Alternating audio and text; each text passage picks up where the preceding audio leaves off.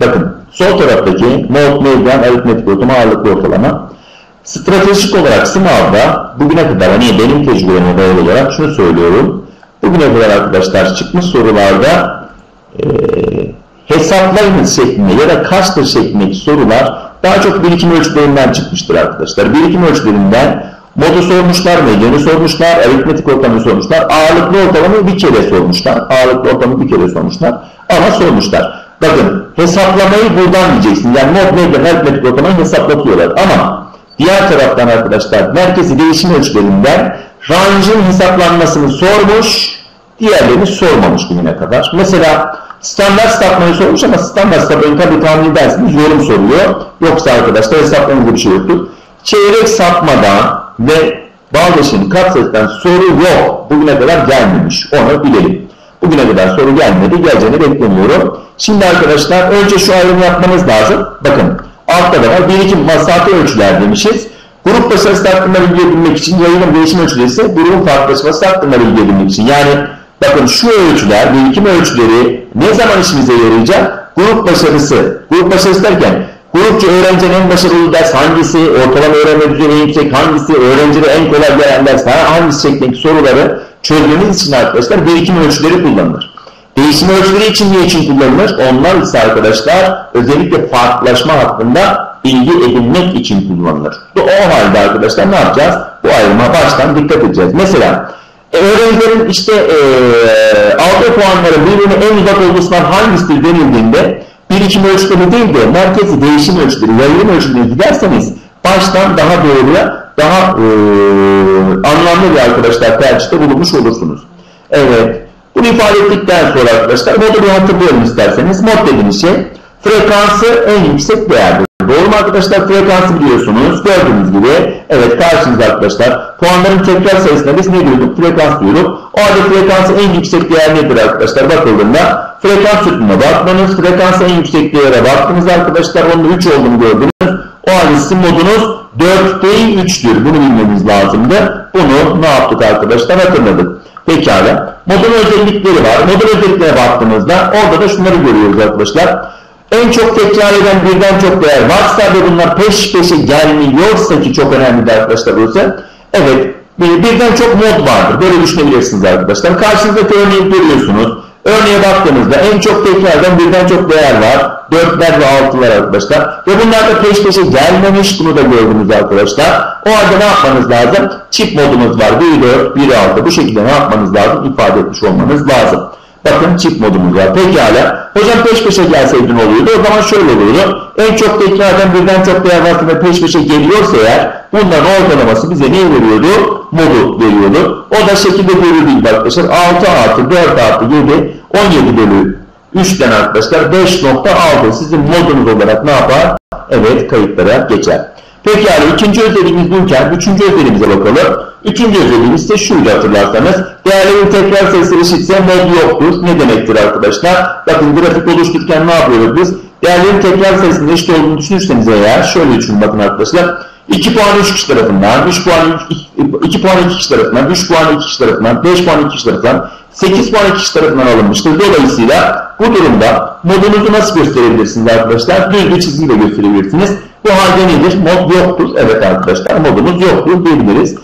Diğer taraftan en çok tekrar eden değer sıfırsa mod sıfırdır arkadaşlar. Modun olmaması ve modun sıfır olması farklı özellikler demiştik. Baktığınızda mod sıfır olabilir mi? Evet olabilir. O halde arkadaşlar modun sıfır olması mesela diyelim şuraya bir nokta korsanız şöyle bir grafikle karşılaşabilirsiniz. Dikkat edin arkadaşlar bakın. Modun sıfır olduğu, sıfır olduğu bir örnek olabilir karşınızda.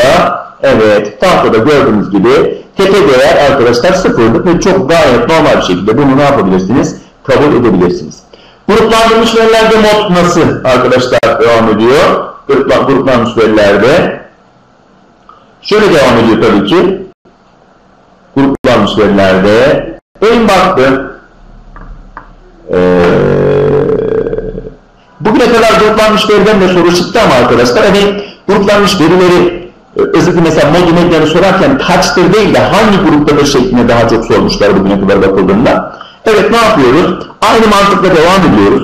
Frekansı en yüksek arkadaşlar grubu bulmanız lazım. Frekansı en yüksek gruba baktığımızda ise ne yapıyoruz arkadaşlar? 20-25 aralığını buluyoruz. Modumuz nerededir? Bu aralıktadır. Bunu söyleseniz zaten yeterli arkadaşlar. Sorular genelde bu minvalde yani bu eksende çıkıyor. O zaman arkadaşlar ne yapacaksınız? Size net olarak kaçtır diye sorarsa o zaman da orta değeri bulacaksınız.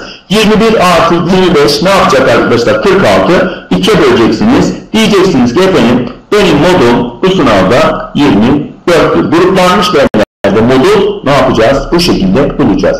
Pekala arkadaşlar gruplanmış verilerde modu bulduktan sonra diğer taraftan tabii ki boşlukları hatırlayın işte örnek çözmek için bırakmıştık. Devam ediyoruz. Şimdi şunu görüyoruz.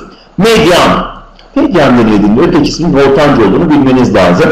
Arkadaşlar medyanın tanımı şöyle. Sıralanmış değerlerin tam ortasındaki değerdir. Yani %50. değerde denilebilir. O halde ne yapıyoruz arkadaşlar? %50. değere baktığımızda şunu görüyoruz. Değer sayısının tek ve çift olmasına bağlı olarak farklı farklı hesaplanan ölçüleri ifade etmektedir arkadaşlar. Değer sayısı tek ve değer sayısı çift olduğunda farklı farklı hesaplanan bir ölçüymüş arkadaşlar. Tabii ki bakın tahtada gördüğümüz bu örneğimiz karşımızda duruyor. Değer sayısı tek ise şunu ifade ediyoruz. Baştan ve sondan bakınca tam ortadaki değer medyanı verir. Tabii ki baştan ve sondan bakınca arkadaşlar değer sayısı tek olduğunda tam ortaya bir tane değer denk gelecektir. O halde arkadaşlar mesela verilen puanlara baktığımızda 2, 2, 4, 5, 5 demişiz. Bu durumda medyanımız kaçtır arkadaşlar? Baştan ve sondan bakınca tam ortaya denk gelen bir tane puan var. O da ne oluyor arkadaşlar? Cevap olarak 4 oluyor. Bu da bizim medyanımız. Evet.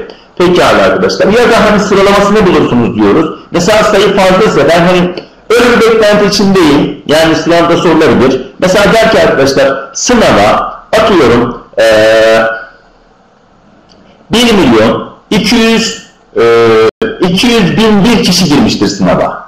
Ya da 1 milyon 199 bin 999 girmiş, kişi girmiştir sınava. Acaba kaçıncı puan medyandır? Hadi size de sormuş olayım arkadaşlar soruyu. Tekrarlıyorum. KPSS'ye 1 milyon 200, 1 milyon 199 bin 999 kişi girmişse eğer medyan kaçıncı puandır diye sorsam bakalım merak ediyorum cevap olarak ne vereceksiniz arkadaşlar? Sınava 1 milyon 199 bin 999 kişi girmişse eğer medyan kaçıncı puandır? Hadi bakalım cevabımız nedir diye bekliyorum arkadaşlar. Cevabımız nedir diye bekliyorum.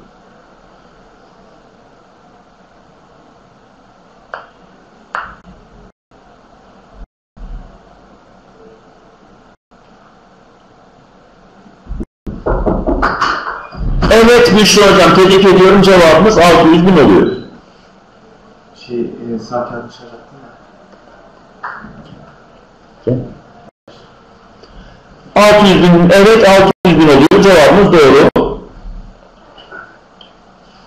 Şimdi arkadaşlar, şimdi değer sayısı tek olduğunda bunu görüyoruz. Doğru mu? Peki bir soru daha sormak istiyorum. Acaba demiş olsak arkadaşlar 99 kişi sınava girdiğinde medyan kaçıncı puan demiş olsa hangi puan verirsiniz arkadaşlar? Hangi puanı görürsünüz? Cevap olarak ne dersiniz? Sınava 99 kişi giriyor. Kaçıncı puan medyan oluyor? Pekala arkadaşlar. Sınava 99 kişi. Harika. Cevabımız arkadaşlar 50 oluyor. Biliyor. Pekala değer sayısı çift ise Değer sayısı çift ise baştan ve sondan bakınca tam ortadaki ikiliğin ortalaması medyanı verir diyor. Pekala arkadaşlar bu da doğru mudur bunu teyit edelim isterseniz. Formülü veren formüle gerek yoktur biliyorsunuz. Arkadaşlar formül gerçekten KPSS ölçme dersinde çok sorulan bir şey değil. Dolayısıyla ne yapmanız lazım? Formül konusunda biraz daha rahat olmanız lazım. Şimdi diyor ki Değer sayısı çift ise zaten mantıken şöyle düşünmemiz lazım. E baştan ve sondan bakınca tam ortaya mecburen iki tane değer düşmekte arkadaşlar. O halde tam ortadaki iki değerin ortalamasını al sana medyanı versin. İşte arkadaşlar bakın örnekte görüldüğü gibi tam ortada iki tane değer denk gelmiş. Bu iki değerin ortalamasını almış arkadaşlar bizlere. Demiş ki bizim medyanımız 5,5'tur. Tabii ki arkadaşlar medyanı ne yapıyoruz? Bu şekilde ifade edebiliyoruz. Pekala arkadaşlar değer sayısı çift olduğunda bunu kullanıyormuşuz. Bize demiş olsaydı ki mesela arkadaşlar 2 milyon kişi sınava girmiştir. Acaba hangi puanlar medyanı verecek diye sormuş olsaydı biz cevap olarak neyi verecektik?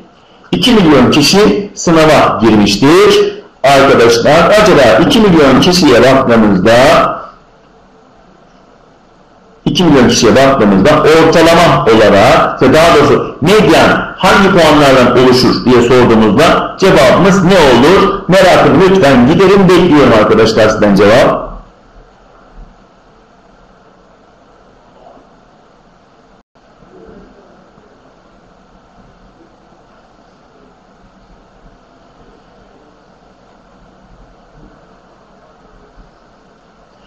Bir milyon ve bir milyon bir. Doğru mu arkadaşlar? Evet. Tebrik ederim. Büşra hocam. Çok teşekkürler. Cevabımız geldi ve ne yapıyoruz? Gene devam ediyoruz. Devam ediyoruz. Şimdi gruplandırılmış verilere bakıyoruz. Gruplanmış verilerde medyan nasıl bulunur onu bulmaya çalışacağız şimdi arkadaşlar. Gruplandırılmış verilerde, gruplanmış verilerde medyan nasıl hesaplanır? Önce arkadaşlar hatırlayın gruplanmış verilerimizi. Evet. Şimdi e, sistematik bir yapı var gruplanmış verilerde ve medyan nasıl hesaplanıyor onu görmemiz gerektiğini ifade ediyorum. Değer sayısı çift olduğu için bakın bu soruda, karşılaşmış olduğumuz bu soruda değer sayısına bağlı olarak ne yapıyoruz? Medyan hesaplıyoruz. Tabii bunu hesaplarken ne yapmışız arkadaşlar? Önce olarak şunu görmemiz lazım. Bakın dikkat edin. Önce bize şunları verdi. Sol tarafta bak sütunu gördünüz arkadaşlar frekans sütunu. Frekanslar verildi. Frekanslara bağlı olarak ben ne yapabilirim? Medyanı bulabilirim. Nasıl bulacağım peki? Şöyle buluyorum arkadaşlar. Diyorum ki evet sınava kaç öğrenci girmiştir? 20'lı frekans bana buradan yardımcı oluyor. Toplayarak geldi arkadaşlar. Bana diyor ki sınava 26 öğrenci girmiş oldu. Pekala 26 öğrenci tek mi çift mi? Çift. Çift olduğuna göre şunu yapıyorum arkadaşlar. Değer sayısı çift olduğunda şunu yapıyordum. 26 bölü yani n bölü 2'yi kullanıyordum. 26 bölü 2 dedik arkadaşlar. 26 bölü 2 dedik. Pekala. Ne diyeceğiz biz buraya? 13 ve bakın 13 ve bir sonraki değer olan 14. puanları dikkate alacağız. 13 ve 14. puanları dikkate alacağız. O halde 13 ve 14. puanlar nerede arkadaşlar? Yığılmalı frekans tarafından bakarsanız 13. puanı görüyorsunuz. Buradan da isterseniz toplayarak inebilirsiniz arkadaşlar. 5, 3 daha 8, 5 daha 13. Bakın 13, 13. puanı görüyorsunuz. 14. puan haliyle nerede arkadaşlar? Bir alt grupta. Şimdi bakın ne demiştim aslında bir ders anlatırken sürekli şundan bahsediyorum. Medyanın en zor sorulabilecek tarzda arkadaşlar gruplanmış veri, veri sorusu bu olabilir. Burada ne yapıyorduk arkadaşlar? O zaman şunu diyorduk. Diyorduk ki şu iki grupta medyan yer almakta arkadaşlar. Medyanın bir bacağı bir grupta, diğer bacağı bir grupta. O, bu halde ne yapmamız lazımdı? Şunu yapmamız lazımdı. Bunun ortalamasını, bunun ortalamasını alıp ikisinin tek ortalamasını almakta. Ama onun yerine arkadaşlar daha keskinli bir yöntemden bahsediyorum size. Çapraz bakın dedim arkadaşlar. 20, 21, 2'ye böl, medyanı medyanı bul. Yani 20 buçuk sizin bu sınavdaki medyanınız arkadaşlar. 20 buçuk. Şunu belirtmek isterim. Medyanın yaklaşık arkadaşlar sonucu budur. 20 buçuk. Yoksa tamamen 20 buçuk değildir. Onu da belirteyim arkadaşlar. Medyanın yaklaşık değeri 20 buçuktur. Ayrıntılı formülü var. Ayrıntılı formülü biraz daha farklı çıkabilirsiniz. Ama emin olun 3 aşağı 5 yukarı böyle çıkacaktır arkadaşlar. Çok ufak sapmayla bu sonuçlarda aslında cevabımız sayılabilir. Onu da belirteyim. Tekrar söylüyorum. Arkadaşlar gruplanmış verilerde medyan bulunurken en zor, en zor gelebilecek tarzdaki soru bu soruydu. Neden arkadaşlar? Çünkü değer sayısı çift. Çift olduğunda da medyanın bir bacağı bir grupta, diğer bacağı alttaki grupta olunca arkadaşlar işte ne yapmamız lazım? İki grubuna dikkat alarak sonuca gitmemiz lazım. Evet. Pekala arkadaşlar bunu belirttikten sonra devam ediyoruz. Devam ediyoruz. Bize diyor ki yığılmalı frekans nedir? Bir de yığılmalı frekansı görelim. Arkadaşlar yığılmalı frekansı mantığı şu. Sınava giren öğrencileri toplamını açıkça gösterebilmektir. Hocam zaten biz toplayarak görüyoruz bunu. Tabii ki görüyorsunuz arkadaşlar. Tabii açıkça bunu yazmanın farklı nedenleri var. Bunlardan biri arkadaşlar. Az önce bahsettiğim gibi. Mesela ayrıntılı medya formülü var. Orada işinize yarayacak arkadaşlar. O bizim için kıymetli olacaktır. Onu belirteyim. Bunun dışında, bunun dışında arkadaşlar. Tabii nasıl olacağını görüyorsunuz. Yığılmalı frekans nasıl oluşur arkadaşlar? Şu puanı buraya aldıktan sonra toplayarak devam edersiniz. Evet 3, 5 daha 8 dersiniz. 5 daha 13 dersiniz. 6 daha arkadaşlar 19 dersiniz. e, 6 daha 25 dedikten sonra 2 daha dersiniz 27. Ne demektir 27? En demektir. Sınava giren kişi sayısı arkadaşlar. Dolayısıyla aslında siz bunu ne yapıyorsunuz? Her seferinde sorular çözmek için arkadaşlar özellikle meydan bulmak için ne yapıyorsunuz? Kullanabiliyorsunuz. İşte arkadaşlar sınava giren kişi sayısı, toplam kişi sayısını buldunuz. Toplam kaç kişi girmiş? 27 kişi girmiş. O zaman ben size sorumu sorayım arkadaşlar. Görmüş olduğunuz tabloya göre mod ve medyan kaçtır diye sorsam ne diyeceksiniz? Cevabınızı bekliyorum arkadaşlar. Evet, mod ve medyan kaçtır bu tablonun, bu sorunun mod ve medyanı kaçtır? Cevabınızı bekliyorum. Hadi bakalım arkadaşlar.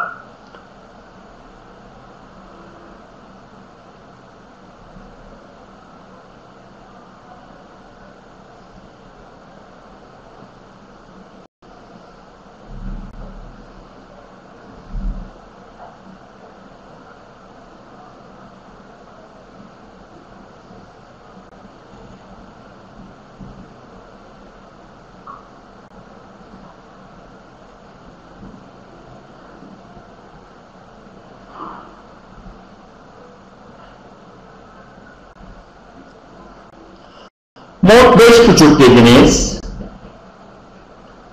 Evet. Medyan 12 dediniz. Diğer arkadaşlar ne diyor acaba? Katılan var mı arkadaşlardan? Damla Hanım, Rümeysa Hanım, Sinem Hanım ne dersiniz durum için?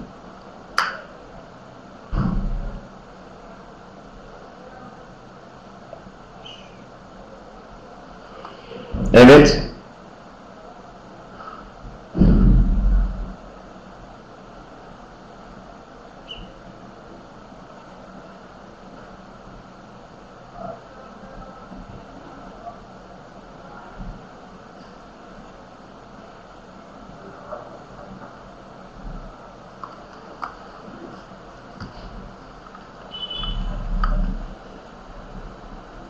Evet arkadaşlar şimdi cevabımızı tekrar kontrol ediyoruz. Ne diyoruz? Diyoruz ki sınava giren öğrencilerimiz baktığımızda modumuz kaçtır? Modumuz şöyle buluyoruz arkadaşlar. Frekansı en yüksek. Bakıyoruz. Birden çok değer var. Doğru mu? Ve bunlar peş peşe gelmiş. O halde ne yapıyoruz? Ortalamasını alıyoruz. Değil mi arkadaşlar? Ortalamasını nasıl alıyorduk? Şöyle alıyorduk. Bakın dikkat edin arkadaşlar. En çok tekrardan birden çok değer varsa ve peş peşe geliyorsa cevabımızı şöyle alıyoruz arkadaşlar. Diyoruz ki efendim bakın buraya baktığımızda neyi görmekteyiz biz? Öğrencinin puanını yani e, pardon sınavın neyini görmekteyiz arkadaşlar? Sınavın medyanını görmekteyiz. Nasıl görüyoruz? Şöyle yapıyoruz arkadaşlar. 13 artı 14 bölü 2 diyorsunuz. Oradan çıkan sonuçta 13,5. Evet arkadaşlar medyanımız pardon modumuz 13,5 olacak. Öyle değil mi arkadaşlar? Evet modumuz 13,5 olacak. Pekala medyanımız kaç olur arkadaşlar diye baktığımızda medyanlar şöyle bulunuyordur. Sınava giren kişi sayısı arkadaşlar 27 kişi. 27'yi ne yapıyoruz? Biz arkadaşlar 1 ekleyerek 2'ye bölüyoruz.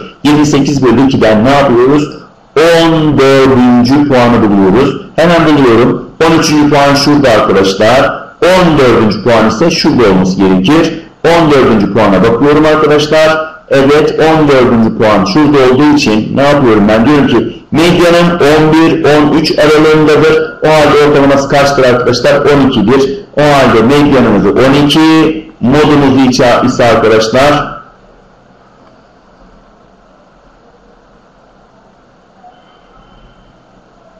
Evet arkadaşlar 13.5 dedik modumuza. Medyanımıza ise 12 dedik arkadaşlar. Pekala şimdi Büşra hocam söyleyin.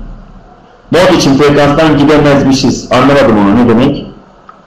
Mod için frekanstan gidemezmişiz demişsiniz.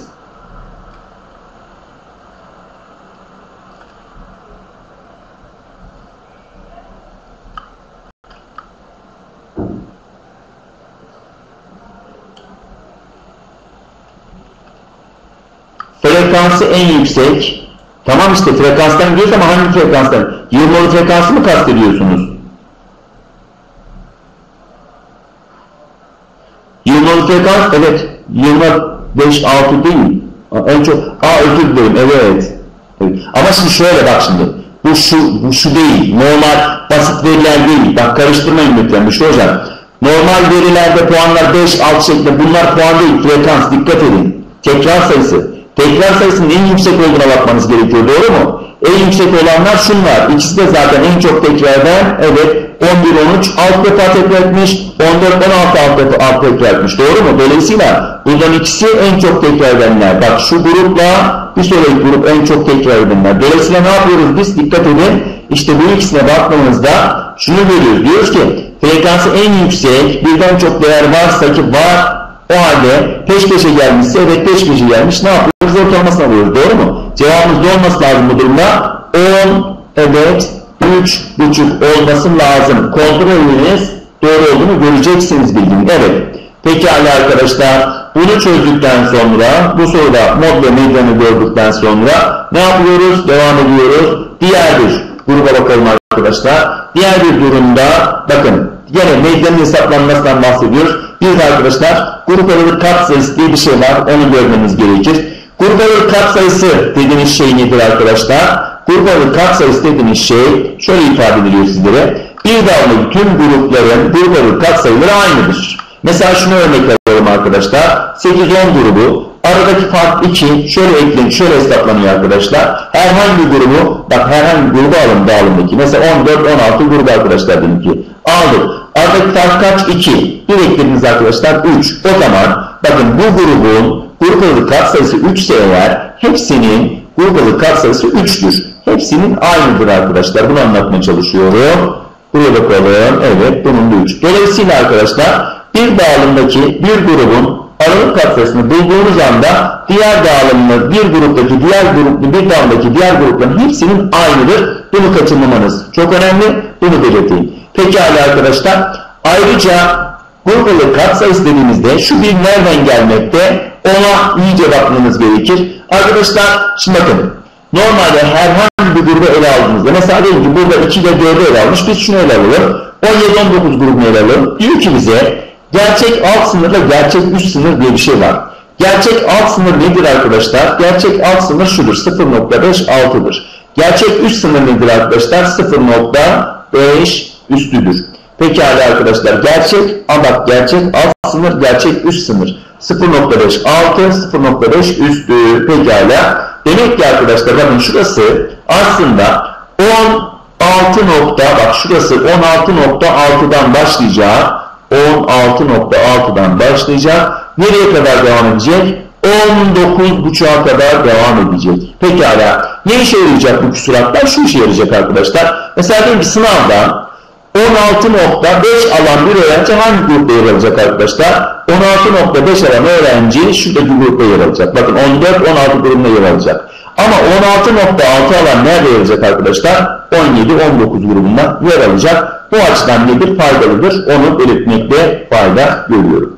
Pekala arkadaşlar. Buraya kadar sorusu olan yoksa geçiyorum. Grup aralık kat sayısını hatırladıktan sonra aritmetik ortalama arkadaşlar. Aritmetik ortalama bize neyi ifade ediyor? Ee, aritmetik ortalama bize şunu ifade ediyor arkadaşlar. Diyor ki aritmetik ortalama ilgili olarak efendim girilen bir sınavda girilen bir sınavda öğrencinin almış olduğu puanları ne yapıyoruz? Toplayarak öğrenci sayısına bölüyoruz. Pekala arkadaşlar öğrenci sayısına bölüyoruz. Öğrenci sayısına böldükten sonra arkadaşlar aritmetik ortamı bulmuş oluyoruz. Basitçe gördüğünüz gibi arkadaşlar evet öğrenci tamamını topladınız ve öğrenci sayısına böldünüz. Bu da seriyi vermiş oldu. Aritmetik ortalamayı vermiş oldu. Aritmetik ortalama diğer bir ölçütlerinden daha hassas ve ayrıntılı bir ölçüdür. Neden ise tüm puanları hesaplamaya dahil edilmesidir. Gördüğünüz gibi arkadaşlar. Evet.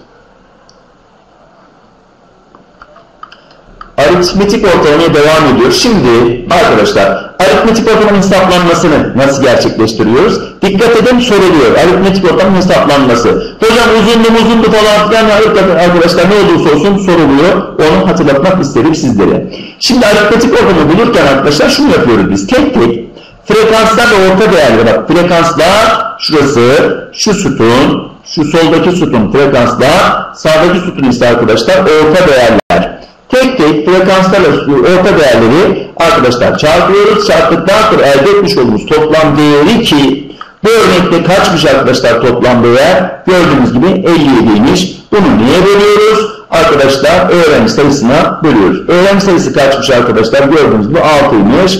6 tane öğrenci bakın 2, 3, 4, 5, 6 tane öğrenci varmış. 57'yi 6'ya bölüyoruz ve cevabımız 9,5 oluyor. Dolayısıyla neyi bulmuş oluyoruz? Aritmetik ortamı buluyoruz. Arkadaşlar aritmetik ortalamayı bu şekilde ne yapmanız lazım? Evet ilgilenmeniz lazım, dikkat etmeniz lazım. Onun için arkadaşlar ne yapacaksınız? Aritmetik ortamın hesaplanmasını kaçırmayacaksınız.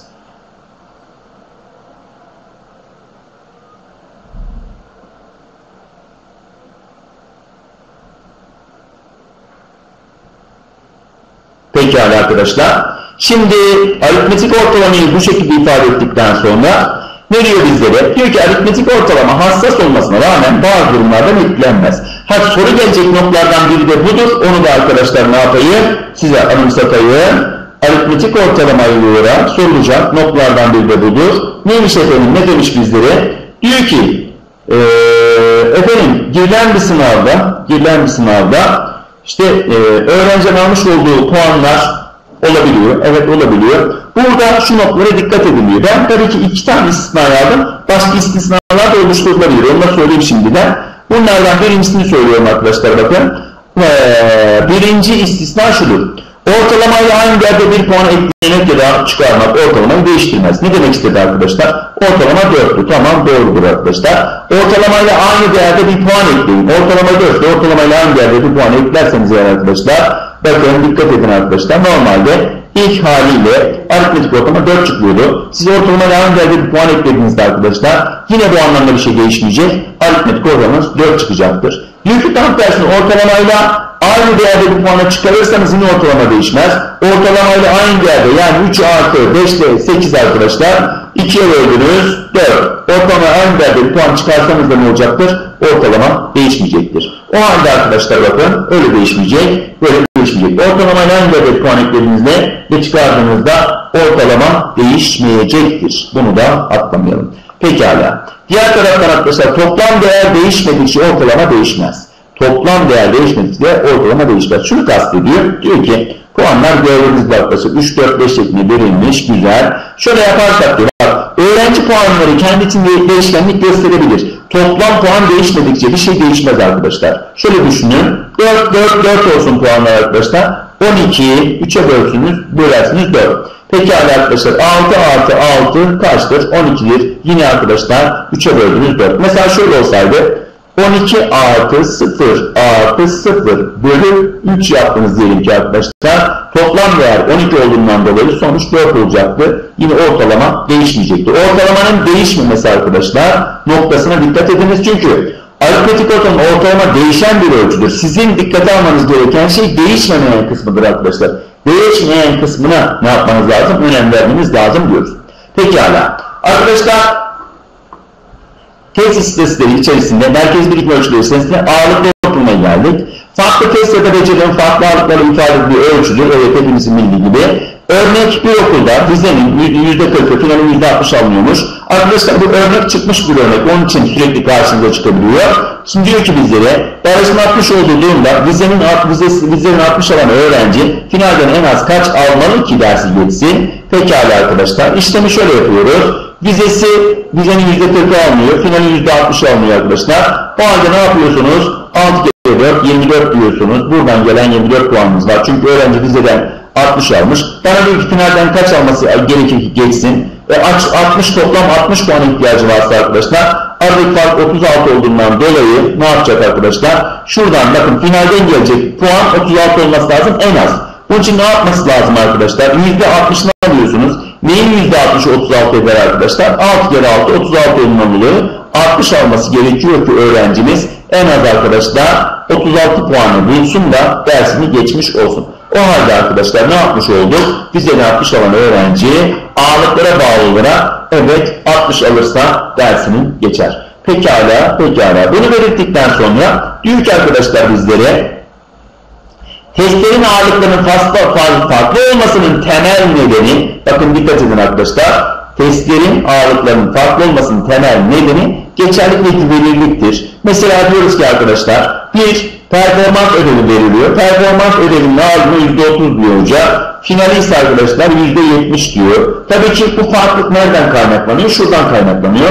Arkadaşlar performans ödevi verdi ama performans ödevi kim tarafından yapıldı? İnternetten mi indirildi ya da başka yerlerden kopya edildi? Bunları çok ne yapamıyoruz? Ulaşamıyoruz. Dolayısıyla arkadaşlar ağırlığını ne yapıyorlar? Düşürüyorlar. Diğer taraftan şunu görmekteyiz arkadaşlar. Finalin ağırlığı neden daha yüksektir? Bir kapsamı daha geniş arkadaşlar. Daha güvenilir, daha geçerli bir izlenim vermekte. Dolayısıyla bunun ağırlığı daha yüksek olmaktadır diyebiliriz. Şunu hatırlatmamda fayda var. Mesela diyelim arkadaşlar e, liselerde filan, ortaokullarda kanaat notu vardır. Öğretmenler işte yazılı yoklamaları yaptıktan sonra arkadaşlar ayrıca kanaat notu verirler. Fakat kanaat notunun arkadaşlar ağırlığı çok çok düşüktür. Neden düşüktür? Öğretmen kendisi arkadaşlar inisiyatif alarak diyelim ki yanlılık oluşturabilir gözüyle yani güvenilir ve geçerli çok düşük olduğundan dolayı ne oluyor? Kanaat notunun arkadaşlar o ağırlığını minimize ediyorlar. Dolayısıyla arkadaşlar çok alt düzeyde bir kanaat notu kullanılmaktadır. Yani istediğiniz kadar yüksek puan verin ya da düşük puan verin arkadaşlar. Öğrencinin puanını belirgin bir şekilde etkileyemiyorsunuz. Dolayısıyla bu yönüyle bakıldığında bence anlamlı ve doğru bir çalışmadır. Yani doğru bir ağırlıktır onu da söyleyeyim arkadaşlar sizlere. Şimdi tahtada bir soru var. Benim meşhur sorum arkadaşlar. Bu soruyu çözen arkadaşlar gerçekten bu konuya dair birçok şeyi geliştirmiştir. Birçok bilgiyi geliştirmiştir. Onu söylemekte fayda var. O halde arkadaşlar şunu sorayım sizlere. Evet bu sorunun cevabı kaçtır diye sorsam acaba nasıl cevaplayacaksınız? Acaba cevaplayabilir misiniz arkadaşlar? Mümkün mü? Onu bekliyorum şimdi sizlerden. Size arkadaşlar şu anda evet 3 tane katılımcı görünüyor. Üçüncü arkadaşlar şu soruyu soruyorum. Diyorum ki arkadaşlar bu sorunun modu kaç? Bakın bu sorunun modu kaç? Medyanı kaç? Aritmetik ortalaması kaç? Grup aralık katsayısı kaç? Evet arkadaşlar şimdi bir buçuk dakika zamanınız var. Lütfen soruyu çözünüz.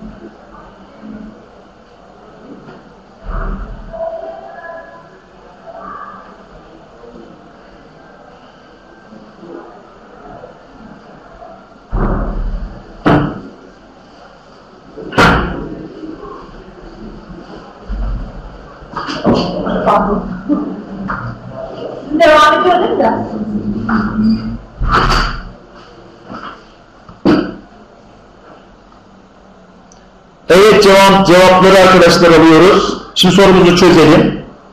Ee, sorumuza baktığımızda ne demiş? Öncelikli olarak demiş ki yığılmalı frekans. Kıymetli arkadaşlar şu yığılmalı frekans işini çözmeniz lazım. Bakın her an böyle bir soru, soruyla muhatap olabilirsiniz. Yığılmalı frekansı normal frekansa bir dönüştürelim isterseniz. Normal frekansa dönüştürürken bakın arkadaşlar şunu yapmak zorundayız. Şu ikiyi buraya almak zorundayız başlarken. 2'yi buraya aldıktan sonra farkları yazıyorsunuz. 2 ile 3 arasındaki bak dikkat et. 2 ile 3 arasındaki fark kaç? Arkadaşlar evet. 2 ile 3 arasındaki fark ne diyorsunuz? 1. 3 ile 4 arasındaki fark 1. 4 ile 6 arasındaki fark 2. 6 ile 7 arasındaki fark 1. 7 8 arasındaki fark 1. Şimdi çift modumuz var mı arkadaşlar? Bakalım evet çift modumuz var. Neymiş bunlar? Gördüğünüz gibi arkadaşlar. Biri 3 bak frekansı en yüksek diyorsunuz doğru mu? Frekansı en yüksek birden çok değer var ve peş peşe gelmemiş. Evet doğrudur peş peşe gelmemiş. Ne yaptınız arkadaşlar? Bunun orta değerini aldınız ve 3 dediniz buraya. Buranın da orta değerini aldınız. 3 dediniz. Bakalım sorumuzu kim cevaplamış? Evet Sinem hocam cevaplamış sorumuzu. Güzel. Pekala medyanımız kaç diye sorduğumuzda medyanı nasıl buluyorduk? Kaç kişi sınava girmiş arkadaşlar? Yılları frekans zaten belirtmiş diyor. Demiş ki 8 kişi girmiş. 8 kişinin girmiş olduğu sınavda arkadaşlar ne yapıyorsunuz? 8 bölü 2'den 8 bölü 2'den 4. ve 5. puanları buluyorsunuz. 4. ve 5. puanlar nerede? 4. puan gördüğünüz gibi arkadaşlar burada.